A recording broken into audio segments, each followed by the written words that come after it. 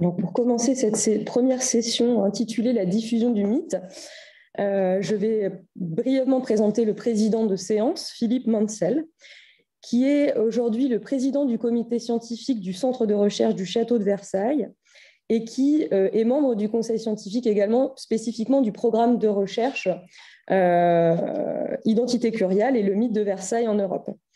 Alors vous le connaissez certainement pour avoir été rédacteur en chef de The Court Historian, la revue de la Society for Code Studies, fondée en 1995. Euh, il est spécialiste de la cour de France sous la Restauration. Euh, on lui doit de nombreux ouvrages et biographies. Je n'en donne pas le détail pour l'instant, puisque euh, je laisserai ma collègue Madame Skounke vous en dire davantage lorsqu'elle introduira la communication que nous donnera, je crois, cet après-midi, Monsieur Mansell.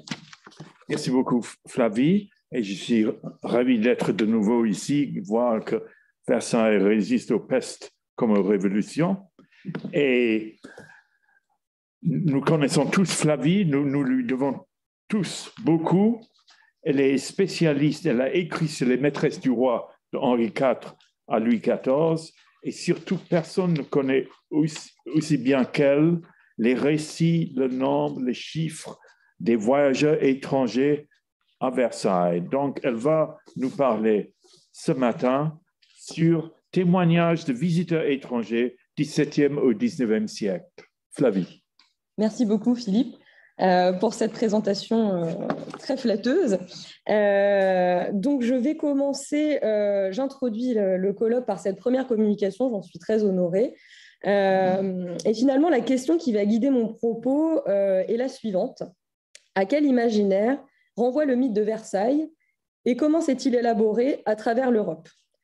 Vaste, problématique qui guide le programme de recherche euh, que vous a exposé donc Gérard Sabatier à l'instant, programme que j'ai le, plaisir de coordonner depuis 2018 sous sa direction.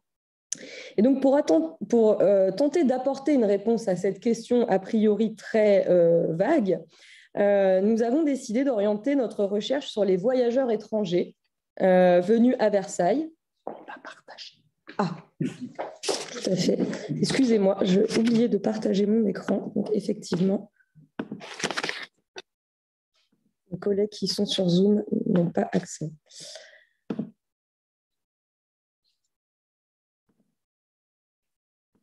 Normalement, cela doit fonctionner désormais. Excusez-moi pour cette interruption.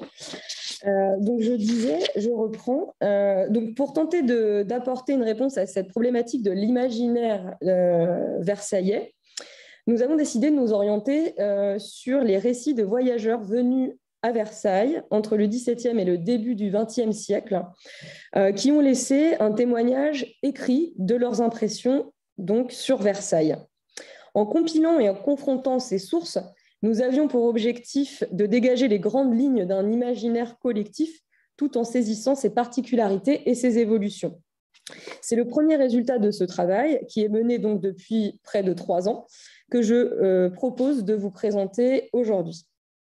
Il ne s'agit bien évidemment pas de la première recherche portant sur le voyage à Versailles. Hein. Euh, il y a une historiographie foisonnante sur le sujet depuis déjà plusieurs décennies, euh, parmi les plus importantes synthèses, je, ne peux pas m'empêcher évidemment de mentionner le catalogue de l'exposition Visiteurs de Versailles qu'a mentionné déjà Gérard Sabatier.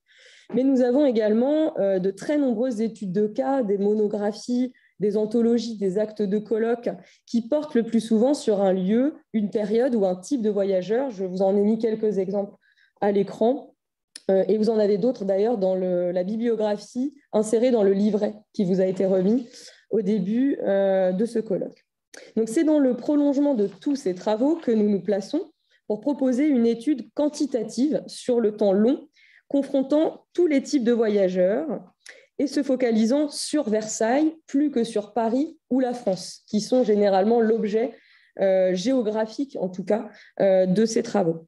Notre but sera ainsi de répondre à des questions a priori simples, mais pour lesquelles une perspective globale faisait encore défaut jusqu'à présent. Qui vient à Versailles? Quand? D'où? Et pourquoi? Qu'en retient-on? Et quelle image de Versailles? Donc, quand je, dis le mot Versailles, j'entends évidemment le lieu, mais aussi ses acteurs, ses usages, sa symbolique.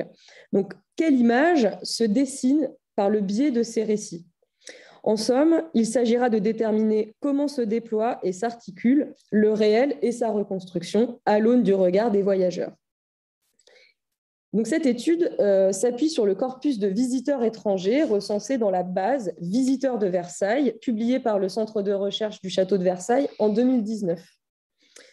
Sur les 674 auteurs de ce corpus, nous avons retenu un échantillon pertinent pour notre étude en nous appuyant sur plusieurs critères. J'ai ainsi exclu les auteurs dont nous ignorons complètement le nom, le pays de naissance ou la période de visite. Euh, cela a notamment impliqué de ne pas retenir certains types d'auteurs, comme les romanciers, les auteurs de guides de voyage, souvent anonymes, ou encore les ambassadeurs en résidence et les, étrangers installés en France de manière plus ou moins permanente. Donc finalement, nous obtenons ainsi un corpus de 603 visiteurs pour 659 euh, séjours ou visites. Bien entendu, une telle méthode de travail implique quelques faiblesses qu'il nous faut souligner. Euh, tout d'abord, malgré nos efforts euh, pour consulter le plus de sources possibles, resteront nécessairement toujours des manques, notamment les sources manuscrites conservées à l'étranger, dont seulement certaines ont pu être traitées grâce à la collaboration de nos collègues, notamment en Pologne, en Suède et en Allemagne. D'ailleurs, je profite de l'occasion pour les remercier euh, vivement pour leur contribution. Alors, outre ce problème d'exhaustivité, bien évidemment, un autre euh, se pose rapidement, c'est celui de la barrière de la langue, puisque je ne parle pas toutes les langues d'Europe, euh, malheureusement. Et donc, euh, cela m'a empêché d'accéder à certaines sources, et notamment les sources russes, qui sont pourtant très nombreuses. Donc, j'en ai une liste, mais que auxquelles je n'ai pas pu accéder. Toute prudence ainsi gardée, je vous propose donc de passer à la présentation des résultats issus de ces données, en commençant par quelques tendances générales. Alors, si l'on considère toute la période allant des années 1660 au début des années 1900, il s'avère que nous observons davantage de visites après 1789 qu'avant. On a une proportion d'environ un tiers, deux tiers.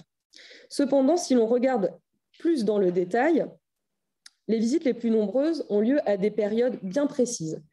En premier lieu, euh, la Troisième République, qui culmine avec plus de 16% du total des visiteurs du corpus. En second vient le règne de Louis XVI avec 13,8%, puis à égalité, le règne de Louis XV, la monarchie de Juillet et le Second Empire avec 12,3% des visites. Assez étonnamment, la période la plus fréquentée est ensuite la Restauration, euh, ce à quoi je ne m'attendais pas vraiment, qui finalement est euh, assez proche des niveaux qu'on observe sous la monarchie de Juillet. À l'inverse, les périodes les moins fréquentées, avec moins de 5% des visiteurs, sont souvent les plus courtes et les moins propices, en toute logique, hein. euh, les années révolutionnaires, et en particulier celles qui suivent la chute de la monarchie, le Premier Empire et enfin la Deuxième République. Alors, tous ces chiffres sont à nuancer, bien évidemment. Par exemple, si l'on ramène le nombre de visites au nombre d'années que compte chaque, période, puisque en toute logique, il y a forcément moins de monde sur euh, la Deuxième République qui dure quatre ans que sur la Troisième République. Donc si on fait une moyenne, euh, l'on s'aperçoit euh, que les, tendances peuvent bouger, et notamment pour ce qui concerne le consulat et la Deuxième République qui dépassent finalement, qui sont les seules périodes à dépasser la barre des sept visiteurs par an. Donc voilà, ça permet de mettre un petit peu en perspective.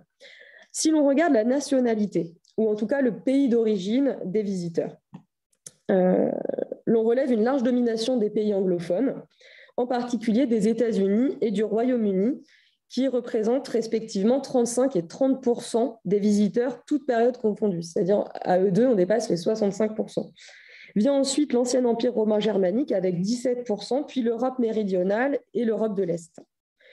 Pour affiner nos observations et saisir plus précisément les fluctuations d'une période à l'autre, je vous propose un examen plus détaillé qui suivra un ordre chronologique et donc commencera avec l'Ancien Régime.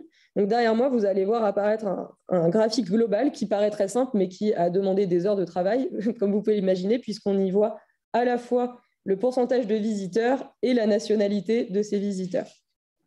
Alors, je le disais, l'Ancien Régime rassemble un tiers de l'ensemble des visites du corpus, Visites qui sont essentiellement de trois types. Dominent en premier lieu les voyages de formation et les grands tours, donc voyages d'éducation aristocratique, qui représentent plus de la moitié des voyages. Sans surprise, il s'agit donc essentiellement de voyageurs issus d'un milieu social privilégié, les aristocrates, les princes, les souverains, venus le plus souvent du Saint-Empire ou d'Angleterre.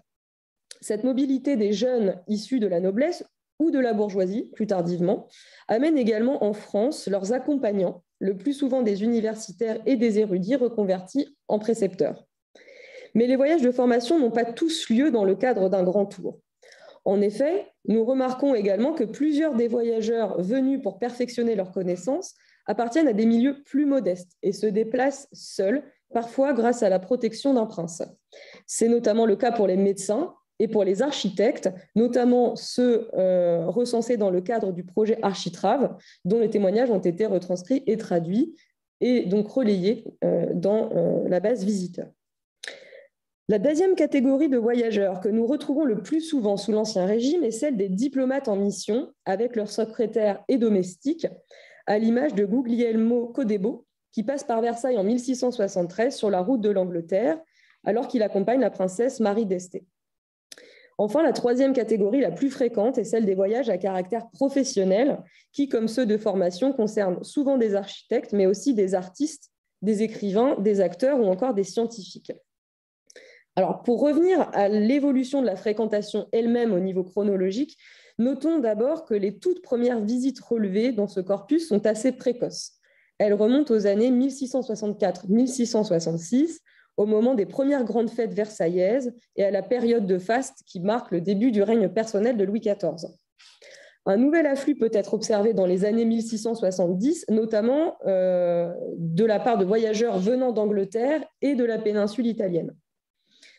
Mais la période la plus fréquentée du règne de Louis XIV reste les années 1682-1688, euh, durant laquelle on observe une variété d'étrangers. Je vous passe le détail des nationalités, mais notamment c'est à ce moment-là que nous allons avoir des Scandinaves, euh, des Polonais, etc. Et euh, ce qui semble logique, puisque c'est le moment où la cour française est installée dans le château, même si les travaux continuent, l'essentiel est achevé. En plus, à ce moment-là, s'y trouve une princesse allemande, madame, qui est assez prompte à accueillir les voyageurs germaniques. Euh, en revanche, euh, la guerre de la Ligue d'Augsbourg, puis la guerre de succession d'Espagne vont constituer, comme on peut s'en douter, un important frein aux visites. On le voit très bien quand on regarde les chiffres euh, de la base de données.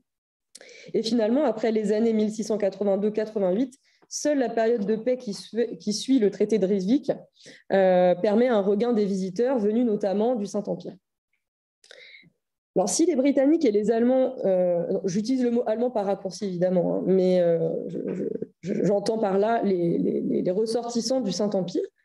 Donc, si les Britanniques et les Allemands dominent à égalité sous Louis XIV, cela commence à changer sous Louis XV. Nous avons cette fois une majorité de Britanniques suivie de loin par les Allemands. En réalité, la majorité de tous ces voyageurs ne viennent que sur une seule décennie, les années 1764-1774, qui font suite à la guerre de Sept Ans, et sont marqués par la politique d'ouverture envers l'Autriche, attirant davantage de ressortissants de pays anciennement ennemis.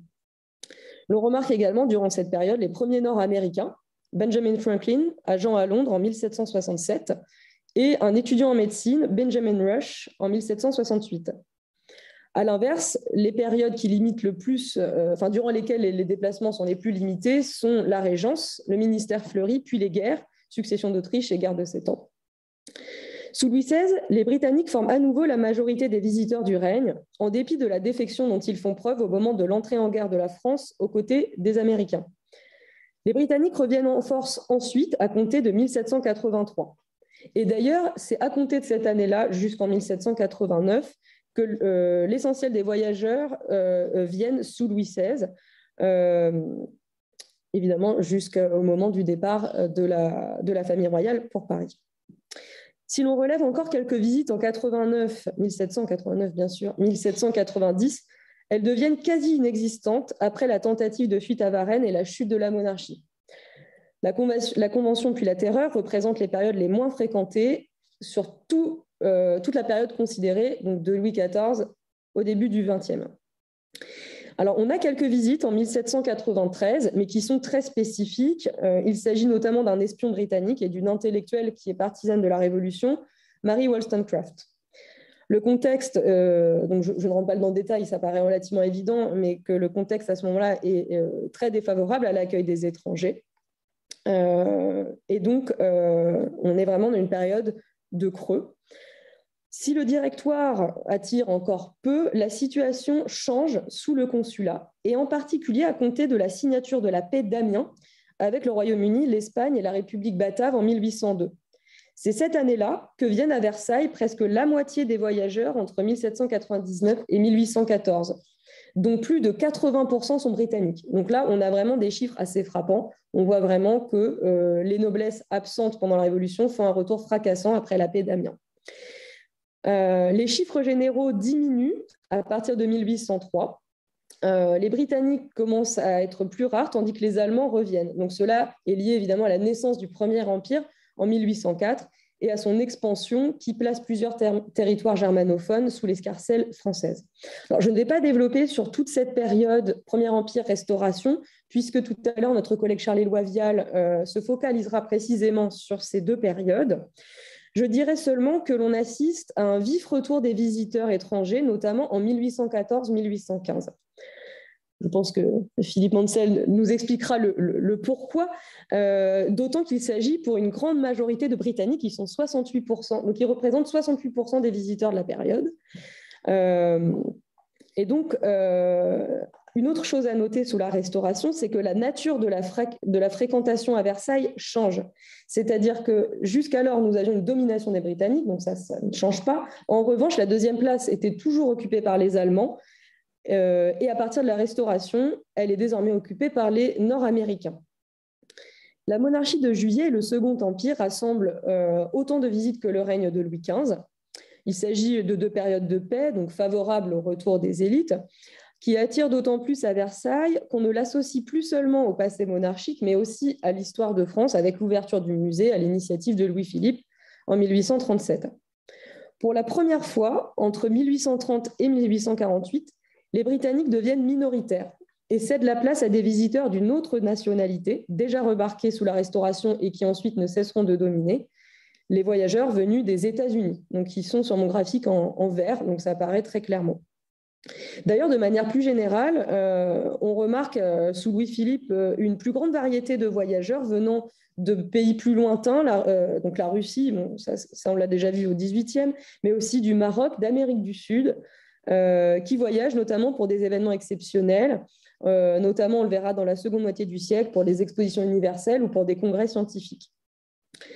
Les Nord-Américains donc vont former une majorité écrasante encore sous la Deuxième et surtout sous la Troisième République, euh, période, la Troisième République, qui attire à Versailles plus que jamais. Donc je ne développe pas puisque cela a fait l'objet euh, d'une exposition euh, récente ici à Versailles, Versailles Revival, qui en fait explique tout l'intérêt suscité par Versailles à cette époque, qui connaît une espèce de, une sorte de résurrection liée à la fois à la recréation du palais et d'un autre côté une effervescence, politique, culturelle, euh, en lien bien évidemment avec l'émergence du tourisme, euh, marquant donc un changement fondamental dans la construction de l'image de Versailles, comme l'a expliqué euh, brièvement Gérard.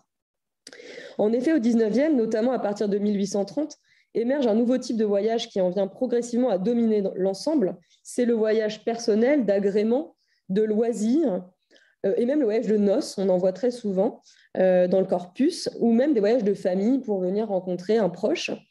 Euh, donc qui, qui représentent la, majorité des voyages euh, du 19e. Alors le public concerné, évidemment, est plus varié, plus diversifié que sous l'Ancien Régime, puisqu'on retrouve beaucoup d'intellectuels, de poètes, de dramaturges, d'écrivains, des aristocrates à nouveau, mais aussi d'autres membres de l'élite, notamment bourgeoise et, et industrielle. Pardon. Euh, cette élite peut voyager pour affaires, euh, notamment les financiers, les marchands. Euh, nous avons aussi des voyages pour raisons professionnelles qui s'appliquent à d'autres catégories de voyageurs qui deviennent très présents, notamment à partir des années 1830. Ce sont les journalistes, les publicistes et les critiques d'art qui sont très nombreux dans notre corpus. Alors évidemment, les, les motivations du voyage sont plus variés euh, que sous l'Ancien Régime. Euh, mais l'on retrouve toujours euh, les voyages de formation, on retrouve toujours des grands tours ainsi que des missions diplomatiques et politiques.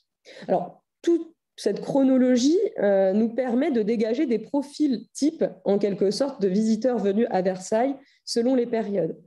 Majoritairement sous l'Ancien Régime, nous retrouvons l'aristocrate britannique ou germanique qui voyage dans le cadre d'un grand tour. Sous la Restauration et la monarchie de Juillet, à nouveau la noblesse, sur le retour après les conflits napoléoniens, mais aussi les financiers et les industriels, notamment nord-américains, en quête de loisirs ou encore les journalistes en quête d'inspiration. Maintenant que nous saisissons mieux quelle a pu être et comment a évolué la fréquentation du domaine de Versailles, reste à confronter les impressions laissées par les voyageurs. Que retiennent-ils de leur visite et quelle image se dessine alors à travers leurs yeux? Autant avant qu'après 1792, l'élément le plus caractéristique, le plus souvent attendu et relevé par les visiteurs est le spectacle des grandes et des petites eaux. On le retrouve mentionné dans presque 20% des témoignages sous l'Ancien Régime et 37% après. Plus encore que le château, les jardins recueillent ainsi les citations les plus nombreuses. Parmi les aménagements le plus souvent relevés, il nous faut euh, mentionner l'orangerie, le Grand Canal et plus surprenant, le Grand Trianon. Certes moins cité à l'époque de Louis XIV et de ses successeurs, qu'ensuite il reste très présent dans les sources, notamment après 1792, en lien avec son occupation par Louis-Philippe et auparavant par Napoléon. D'ailleurs, plusieurs visiteurs y situent euh, au Grand Trianon la signature du divorce avec Joséphine. C'est vraiment un, topos qui revient constamment au 19e. Spécifiquement sous l'Ancien Régime, les visiteurs sont particulièrement impressionnés par le bosquet du labyrinthe, ainsi que par la ménagerie, que l'on retrouve dans presque une notice sur cinq à cette période. En dehors de Versailles, mais à proximité, la machine de Marly est admirée comme un chef-d'œuvre technique par nombre de voyageurs, 1 sur 5 là encore. De même, dans une moindre mesure, que le domaine de Marly et euh, en particulier le pavillon royal. Hormis la machine de Marly, qui est encore mentionnée occasionnellement au XIXe siècle, assez étonnamment, tous ces éléments disparaissent ensuite dans les récits de voyage comme dans la réalité, au profit d'autres espaces du parc de Versailles qui, sont, euh, qui, connaissent une certaine faveur, euh, le bassin de Neptune, le bosquet des bains d'Apollon, les bassins de Latone et d'Apollon, et puis, à compter de 1851, le musée des voitures de Trianon, euh, que les visiteurs visitent presque systématiquement après son ouverture. Le personnage le plus souvent cité, toute période confondue, et sans surprise, vous vous y attendez, Louis XIV, que l'on retrouve dans plus de 40% des sources sous l'Ancien Régime et 54% après. Alors évidemment, il est associé en premier lieu à l'aménagement et à l'édification de Versailles, notamment, euh, c'est notamment dans les récits au moment où les voyageurs commentent les façades du château. D'ailleurs, ils préfèrent souvent celles côté jardin que celles côté ville. Et c'est à cette occasion qu'il mentionne la figure de Louis XIV. Cependant, ce roi n'est pas seulement présenté comme le créateur de Versailles, il est également très souvent associé aux grandes dépenses que cela a impliquées. Le coût de Versailles est ainsi une préoccupation récurrente, un topos, quelle que soit la période du voyage, autant avant qu'après 1792. C'est même un sujet qui donne lieu à, presque un fantasme comme ça de dépenses faramineuses on relève des chiffres grandiloquents. Pour en citer deux exemples, on a un voyageur allemand, Lehmann, en 1709, qui parle de 300 millions de livres.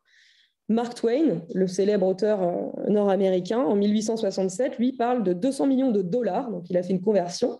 Euh, et cela, rien que pour le parc euh, de Versailles, 200 millions de dollars. Alors qu'on sait aujourd'hui, de par les études menées par les historiens, qu'on se situe plutôt entre 80 et 100 millions de livres. Alors, cette dépense euh, colossale hein, pour la construction de Versailles et son entretien, sous l'Ancien Régime, eh bien, elle n'est pas toujours critiquée véritablement. Elle peut même être vue comme la capacité du roi à contraindre la nature, là encore une idée que l'on retrouve constamment lorsque les jardins sont visités. Euh, la dépense peut aussi être vue comme le reflet de la capacité d'action militaire du roi. Finalement, le, gros des critiques, euh, il est formulé après 1792 et euh, il associe le coût extraordinaire de Versailles tout simplement à la Révolution française, opposant de la sorte l'opulence monarchique à l'oppression fiscale et à la misère du peuple. Cependant, Louis XIV et Versailles ne sont pas toujours vus avec ce même regard selon les périodes. Avant 1792, ils sont associés surtout au cérémonial de cour qui domine largement dans les impressions laissées par les visiteurs, avec en tête les repas royaux, puis la messe avec sa musique, suivi du lever du roi, des réceptions d'ambassade euh, et du passage de la famille royale dans la grande galerie. Ainsi, parmi les espaces qui retiennent le plus l'attention sous l'Ancien Régime, nous avons euh, donc la grande galerie, je viens de la citer. Euh, donc là, c'est dans l'ordre. Hein. La grande galerie, c'est vraiment l'espace qui est, le, qui est incontournable. En deuxième, nous avons la chapelle royale, la chambre du roi en troisième, puis l'escalier des ambassadeurs. Nous retrouvons également au niveau des personnages, hein, outre Louis XIV, les membres de la famille royale que l'on cherche à rencontrer euh, au XVIIe et au XVIIIe, donc généralement le roi, la reine, euh, éventuellement le dauphin. Même si la galerie et la chapelle sont toujours citées euh, après 1792, hein, deviennent évidemment des, lieux qu'on ne peut manquer de voir, cet intérêt pour les rituels s'estompe complètement au profit d'autres personnages et d'autres événements. En effet, après 92, c'est Louis XVI et plus encore Marie-Antoinette qui emboîtent le pas à Louis XIV. Euh, la reine euh, est citée dans presque un témoignage sur deux, ce qui est colossal, sachant qu'on a certains témoignages qui sont très courts. Donc, euh, on, ne manque jamais quasiment de citer Marie-Antoinette. Et lorsqu'on la cite, on l'associe presque systématiquement aux événements révolutionnaires, et notamment aux journées des 5 et 6 octobre 1789. je ne reviens pas sur l'épisode, hein, on le connaît, c'est un événement qui est convoqué de manière récurrente, le plus souvent avec un sentiment de compassion envers la famille royale. Les récits détaillés euh, peuvent varier, mais généralement sont situés. Euh, donc c'est au moment, en fait, le visiteur évoque cet épisode au moment où il visite la chambre de la reine, au moment où il est dans l'escalier de la reine, ou alors lorsqu'il est devant le balcon de la chambre du roi. Et donc là, on a plusieurs versions de l'épisode euh, révolutionnaire. Alors, cela ne veut pas dire qu'on va complètement passer outre les autres grands jalons du parcours de Marie-Antoinette, hein, qui est euh, quasiment toujours présentée comme une reine martyre. Euh, donc, parmi les événements euh, auxquels elle est associée, son mariage, qui est évoqué au moment où l'on visite l'Opéra Royal. Et surtout, surtout ses loisirs, et notamment le temps qu'elle passe dans ses appartements intérieurs et sur son domaine du Petit Trianon. Alors, le petit Trianon, avant 92, euh, il est très peu cité et ensuite il devient vraiment un incontournable, encore une fois, qui est mentionné euh, dans de très nombreux témoignages, de même d'ailleurs que le jardin anglais et que le hameau. Euh, donc là, on retrouve souvent dans le récit de voyage ce, cliché de la reine s'amusant à des activités champêtres, en bergère, voire même le roi et toute la famille royale en train de jouer des personnages, une espèce de comédie bucolique. Euh, après Louis XIV et Marie-Antoinette, c'est Napoléon Ier qui recueille le plus de citations. Il est évoqué notamment au Grand Trianon, je l'ai dit déjà, euh, mais aussi au château de Versailles euh, pour citer le musée spécial de l'école française qu'il y a fait aménager. Cela dit, au XIXe siècle, le grand personnage qu'on ne manque rarement de mentionner est le roi Louis-Philippe, euh, euh, à l'initiative duquel a été aménagé le musée en 1837. Euh, d'ailleurs, à partir du moment où le musée est ouvert, de plus en plus de pages des récits de voyage sont consacrées aux espaces nouveaux qui sont ouverts à cette occasion, et notamment, bien entendu, la galerie des batailles, les salles du consulat et de l'Empire, en lien avec l'intérêt grandissant pour Napoléon, et les salles d'Afrique. Alors, il y a deux œuvres qui sont particulièrement apprécié, euh, la prise de la Smala d'Horace Vernet euh, et la sculpture de Jeanne d'Arc euh, par Marie d'Orléans. Donc ce sont vraiment ce, que l'on retrouve le plus souvent dans les récits de cette période. Il y a deux autres événements qu'on mentionne très souvent après, dans la deuxième moitié du 19e. La réception de la reine Victoria, qui a beaucoup marqué les esprits, et évidemment la proclamation de l'Empire allemand en 1871. Pour autant, les voyageurs du 19e n'abandonnent pas le passé monarchique du lieu. Ils y restent au contraire fort attachés, que ce soit dans une perspective politique ou dans une perspective historique. Ainsi, n'a jamais été autant cité qu'après 1792 le roi Louis XIII et son achat du domaine. De même pour les principaux artistes ayant contribué à l'édification de Versailles, euh, notamment le nôtre, Lebrun et Ardouin Mansart.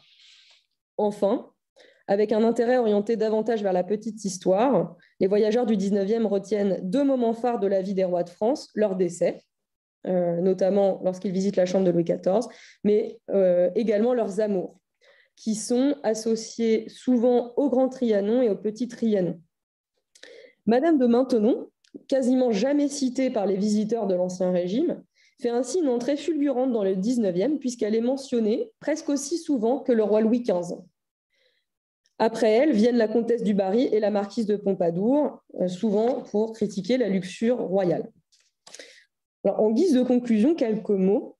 Retenons que le mythe de Versailles, tel qu'élaboré par les visiteurs étrangers entre le XVIIe et la fin du XIXe, s'appuie d'abord sur deux grandes figures aujourd'hui encore omniprésentes, Louis XIV et Marie-Antoinette.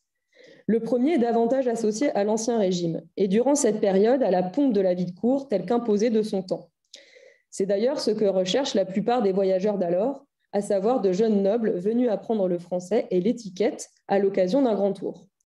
Mais ensuite, après 1792, le roi Soleil prend une autre dimension, souvent associée, de même que Marie-Antoinette, à la mémoire révolutionnaire.